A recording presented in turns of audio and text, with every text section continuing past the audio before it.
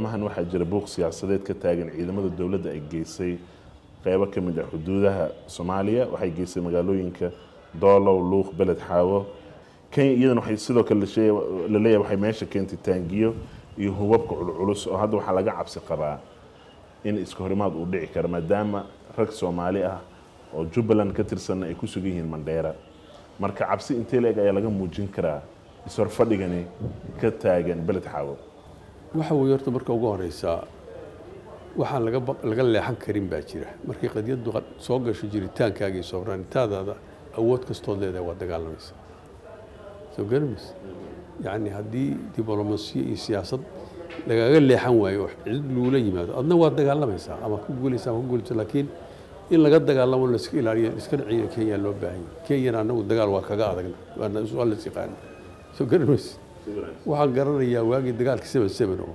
ciidamadeeda ilaa ay diri dhab iyo harar iyo galaan soo garamaysa ururka haweenka ayaa habeen xaflad autumn mars qabsaday sideedii mars mar gabadha hadda ururka haweenka madaxda ka ah ayaa xafladdii ka hadlaysay.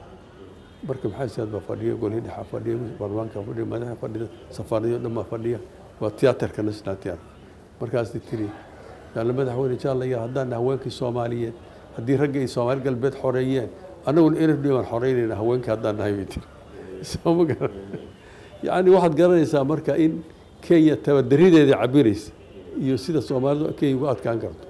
Marka kenya dal nagama haysan karto haddaan anagu wadaniyadii iyo shucuurtii aynu lahaan jirnay aynu la soo baxno. Soo garmaysa marka haddii aynu midnahay meel ka soo wada jeedno oo dabadhilifyada dadka aan macnaha iska dhicinno qarannimadina waa difaaci karnaa soomaalidu waa dad mintiida dagaalka ku fiican iyo xorriyadda markay isu timaado.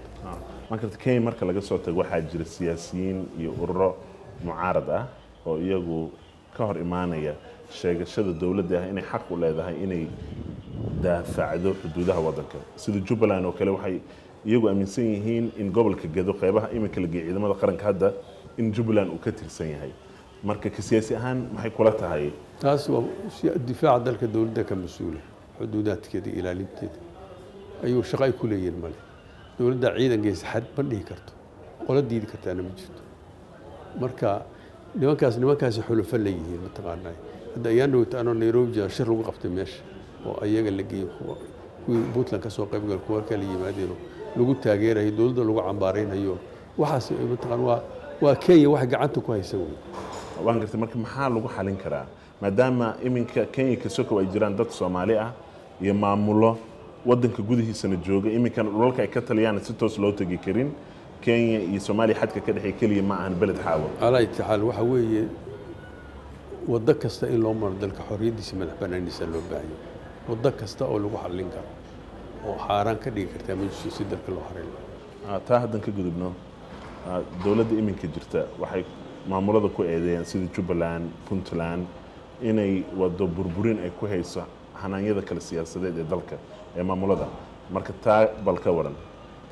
Waxa weeye kuma ay hayso burburin ayagaa diidan dowladda dhexe soomaaliya inay hoos yimaadaan. Federasiyoonaha waxaa laga dhigay federasiyoone ka madax bannaan dowladda dhexe iyo awoodda dowladda dhexe. Xiriir dibadeed iyo dowladashii in lala heshiiyo heshiisyo lala galo oo dowladda dhexaysan warka haynin ciidamo la keensado wix rabo la sameeyo. Ayay rabaan dowladda dhexena taasay diidanta marka waxa weeye kala dambayntii iyo dowladnimadii baa la diidan yahay.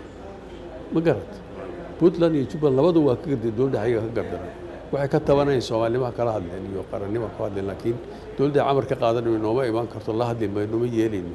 Taa macnaheedu waa kuwa hargeyso kale la mid yihiin oo yidhi waa goosanay kuwaasaaba caddaysto yidhi waa ka go'no dowlad calan gaara samaystay kuwaan dowladdiina waa ka midnayn kamana midnahin weeye waxooda marka hadda puntland waxay ku dhawaaqday in dhammaan dadka siyaasiyiinta ee gobollada ka soo jeeda iyo kuwa ku jira dowladda aqalada baarlamanka inay shir isugu yimaadaan oo ay ka tashan doonaan waxay ugu yeertay aayaha puntland ka mid ahaanshaha soomaaliya iyo in kale. Marka baaqa maxaad u aragtaa? Ka midnaataha soomaaliya may soo geliyeen. In aayaha puntland iyaga iyo dowladda way ishayaan dhowr meelood bu isku qabteen aayaha waa wax kale. Laakiin yacni ka midnaanshaha soomaaliya shaki wargelinayna may ka wada. Taas wax laga hadli kara ku darsiga dowladda dhexe soomaaliya. May taas dowladda dhexe waxa weeye iyada dalka mas'uulka ah. Ninkii diidaana qarannimadii iyo midnimada soomaali diidan sabab lagu lagu diidi karaana ma jirto. Ah, puntland hadda waxay diiday ka hor timid heshiiska dowladda dhexe ay ku ansixisay batroolka oo madaxweyne farmaajo uu saxiixay. Sidoo kale waad la socotaa dooda ka taagan hanaanka waxbarashada ee qaranka oo ay tahay dowladda federaalka inay maamusho. Marka iminka waxay leeyihiin waxaan ka tashanaynaa aayaheena marka muxuu ku leeyahay aayahay ay ka tashan karaan la isugu yeeray siyaasiyiinta puntland waa arki doonaa ajandahay keena in la arkaa loo baahan yahay? Soo ma garan hadde waxay rabaan ma garanayn. Mala awaalna ma rabna inaan ka hadalno moogta soo garmays laakiin batrool soomaaliya loo soo saaraan diidahayaa meelay ku riganta wax micnaha yani wax lagu fasiri kara male soomaaliya batroolkeeda la soo saaro ma ogolin macnaheedu ma garanayn aniga waxay fasiri karaan male oo digniinayba ka soo saareen oo shirkadaha waxay dhaheen ma baari kartaan. Dee fiir hadda waxaas de waa waa marka dowlad ma- ogoli wey dowlad ma ogoli wey macnaheedu waa fawdo wey. Ah, waan gartay. Marka in yar haddaan su'aal yar aan kaa weydiiyo dowladdii dowladdii sheekh shariif ee aad adigu baarlamanka ku jirtay waxay albaabada isugu dhufatay aqalka baarlamanka sannadkii labada kun labayo tobanka. Waxayna galeen heshiiskii ah garowe one garowe two kadibna heshiiskii kampaala sidoo kale dowladdii ku xigtay ee mudane xasan sheekh isna sidoo kale baarlamaanka waa uu xiray sannadkii ugu dambeeyey oo waxa uu magacaabay waxa la yidhahdo hogaamiyaasha madasha qaranka ayaa lagu dhawaaqay lix biloodna waa ay ku darsadeen. Hase yeeshee dowladda iminka baarlamaanka maysan xirin oo baarlamaanka uu shaqaynayaa marka sidee kula tahay arrinkan? Arrinkaas de waxaa weeye maamul xumay ahayd waxaana waafaqay oo ogolaaday dadkii guddoomiyaasha baarlamaanka ka ahaa. Baa ku raacay baarlamaanka inay xiraan. Soo garan mayse laakiin hadda dee u malayn maa dowladdana ma ay dhihin hala xiro. Guddoomiyaasha baarlamaankana kuma ay raaceen. Haddii la yacni kama baarlamaanka labada waa furay waana shaqaynayaan. Marka waa wax aada iskaga soo horjeeda wey laakiin sababta waxaa lahaa guddoonkii baarlamaanka oo amarka dowladda ku shaqaynayay mar walba oo dhahayay marka madaxweynuhu xira baarlamaanka xirayay oo shaqaale ka meesha waan gartay. Ah, dowladahaasi tii sheekh shariif iyo midda ku xigtay xasan sheekh waxaa waddanka ragaadiyey khilaaf siyaasadeed oo u dhexeeyay madaxweynaha iyo ra'iisul wasaaraha. Ood adigu laftigaaga markhaati ka tahay oo xitaa dowladdii hore ee aada ra'iisul wasaaraha ka soo noqotay cali khaliif galleer iyo cabdiqaasim marbay isku dhaceen. Marka mudane dowladdan hadda khilaafka siyaasadeed ee labada xafiis ma jiro. Dadka qaar baa waxay leeyihiin ma garan karno sidii labada madaxweyne isku fahmeen marka ma biseel siyaasadeeda mise mid dhaqan ayaa isku haya labada hogaamiye? Waa ra'iisul wasaaraha iyo madaxweynaha. Hadda miyay is hayaan maya isfahamkani dhex maraya ma biseel siyaasadeeda maadaama khilaaf uusan jirin mise dhaqanka ayaa isku haya wallaahi dee anugu hoos uma gelin laakiin labada nin waa wada shaqeeyaan.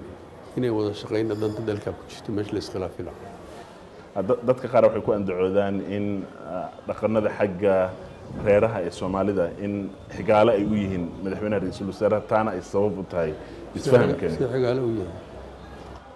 Waa marwada koowaad ee waddanka iyo ra'iisul wasaaraha. Waxaas warka soomaalida weeye soomaalida warkeeda lama raaco moogta soomaalida warkeeda war suuqa ah wax kale ma yaqaanaan ninka waxay ku caaradaan isagoon qabiil shaqo ku lahayn waa reer hebel. Soo ma garan wax kale markay kaa sheegi waayaan dowladdii reer hebel bay ku leeyihiin waa dhaqankooda. Marka waxaad leedahay waa biseel siyaasadeed. Nimankaasu ilaa haddeen lama wada shaqaynaya weeye inay wada shaqeeyaanna waa wax boona meesha ku jira. Haddii aan dib u eegno berigii aad ahayd ra'iisul wasaaraha dowladda kumeel gaarka ee soomaaliya maxay ahaayeen caqabadihii ugu waaweynaa ee beriga aad kala kulantay maamulka hogaaminta dowladda? Annaga dhexdeedu dhawaa kama jirin dhibaato laakiin waxaa nala dagaalamayay dowladaha dariskaa nala dagaalamayay dowladda iyada ogolayn inay hirgasho shaqayso etoobiya ha ugu daraato iyo kenya labaduba ha ugu daraadeen iyo dowlado kale oo talyaaniga iyo maraykanka iyo ka mid yihiin. Kullinama ay rabin. Maxaysan idinku rabin? Dowladnimada soomaaliya inay soo noqotaan la rabin maxaa ka- dabadeed isbedelay waayo etoobiya weli xuduud bay leedahay soomaaliya. Oo dowladdii allah naxariistay cabdilaahi yuusuf. Waxaa inta badan baritaaraysay dowladdii ethoobiya haddii aysan ogolayn qarannimada soomaaliya maxaa marka dambe isbedelay? Maxay dano ahay ka aragtay? Yuusuf maxay marka dambe ku samaysay ya bal inoo sheeg nala wadaag cabdullaahi yusuf inay xamar ku timaaday rabta xamar markay timid waa ka soo horjeesid soo garamaysid shirkii jabuuti xataa inuu tago etoobiya u diiday oo lagu dooranay madaxweyne. Soo garamaysid marka dowladda dariska oo dowlad soomaaliyeed inay meeshan ka dhalato ma rabaan. Inkastoo hadda kuwa meesha jooga etoobiyaanka xoogaa laleeyahy waxbaa iska bedelay iyaga laftooda. Ninkan hadda meesha cabdalla axmed. Abi axmed inuu xoogaa ka bedelay kuwii hore la sheegayo laakiin aniga marba shakan ka qabaa ma ogta? Etoobiyaanka. Etoobiya kulli waxoo dhan baan ka qabay etoobiya kenya waxoo dhan hadda baan ka qabay